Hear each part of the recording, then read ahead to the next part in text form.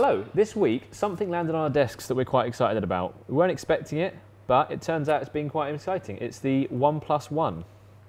It's from a Chinese brand, a startup, which is going to be something that could shake up the market. It's got really high specs and a low price. I mean, John, you've been using it for a couple of days. What do you think? Initially, when I saw it, it sounded too good to be true. Uh, £230 for 16 gig phone with specs which rival the likes of the S5, the M8, the Z2 seems very strange. You pick up the phone, it feels very well built. It's, it, it's polycarbonate, but that's fine. It is sturdy, and for the price point, you can't complain. And then you look inside, it's got a Qualcomm Snapdragon 801 processor. That's exactly the same that you'll find in the S5 and the likes. So it's, it's got good specs off the off the front. And the biggest thing about it, though, is the operating system it runs. It's based on Android 4.4.2 KitKat, which is the latest version, yeah. but it has the community-driven CyanogenMod OS laid over the top, which looks very similar to Android, but gives lots of extra little features, making the user interface a bit more intuitive and gives you greater flexibility in terms of personalization and customization. So do you think that, I mean, there'll be some people out there that haven't really heard of CyanogenMod. It's, you know, it's a fairly well-known uh, version of, of something you can put onto your phone if you've got a, a, you know, an element of ability in terms of you know opening up and, giving the chance to put new operating systems on there. So, but this is designed you know for the consumer from the offset, so that CyanogenMod is is the operating system you're going to get used to. So, do you think someone who likes stock Android would get used to that quite quickly and enjoy it more? Yeah, if you use stock Android, as I said, it's very similar, and it's the additional little features that you'll notice as you come to use it more and more. They're nice. They're not in your face. It's not like a heavy overlay like TouchWiz your Sense. This is still very much an Android experience with a few additional benefits.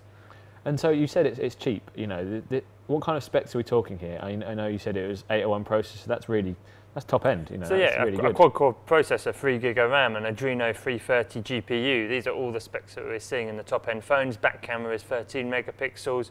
It's got everything that you want. It's got a Sony Exmor lens as well, so they haven't gone cheap on the camera. They was it good camera?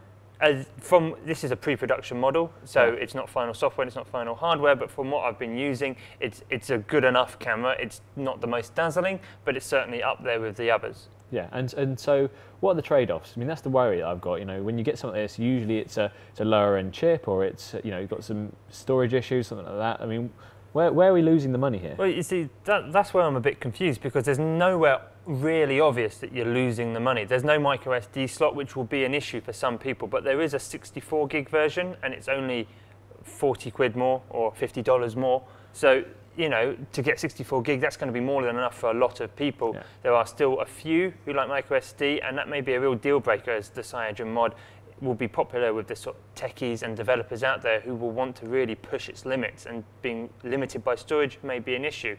Also, you can't remove the battery. It's not a huge issue. Again, the 801 processor, as we know, is very power efficient, so the battery life should be good. As I said, this is development software still, but the battery life has been has been very good so far for me on it.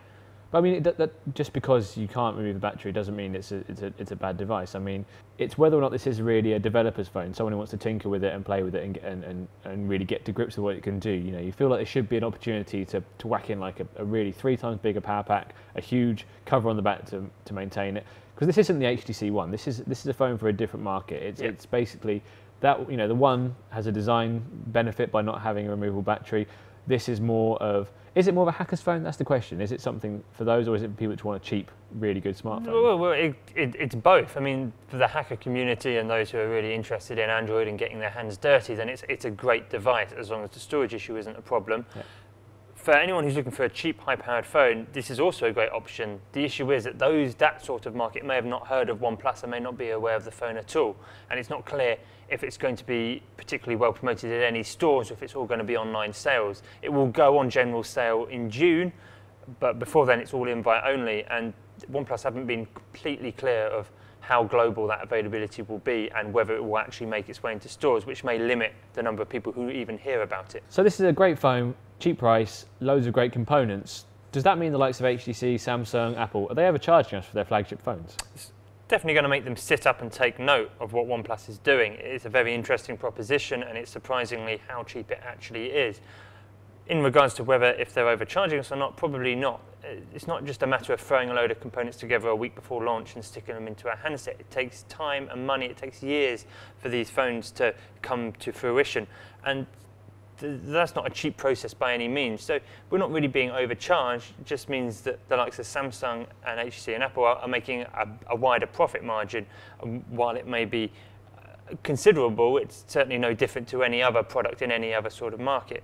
Uh, OnePlus will probably be making a lot less per handset, and that raises issues of whether it can sustain itself. Google has the backing of all its other services, plus it can make money off the Google Play after selling a Nexus device, so it's more covered.